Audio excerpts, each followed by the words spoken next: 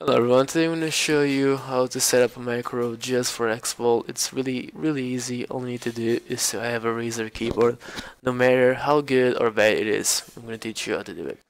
I'll give the download link of, of Synapse in the description, it's really easy, just download it.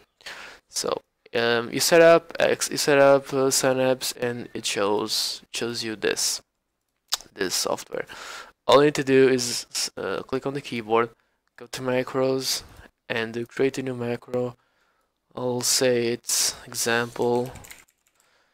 Okay and um, set record uh, set delay like this. Click record and just click like 4 or 5x and that's it stop.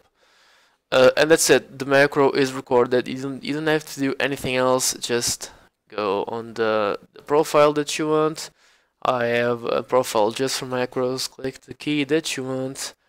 I'm going to use C, uh, macro, click on macro, and then set the macro that you want. And all you need to do is just play while assigned key is pressed. That's it. That is it. Uh, save. And that's it. Now click on the profile that you want. In my case is this profile. It's F1, F2, but you can just click the profile. Go on to um, go on to Google, Haxball, and you'll see uh, you'll see macro just fucking rocketing. Look at it. As you can see, uh, I don't I don't recommend um, I don't really recommend uh, this th this much. Um, uh, you know, so, ma so many X's, but you know, in case you really want an advantage, you know, here you have it. And that's it. Thanks for watching. That's all you said a macro just for uh.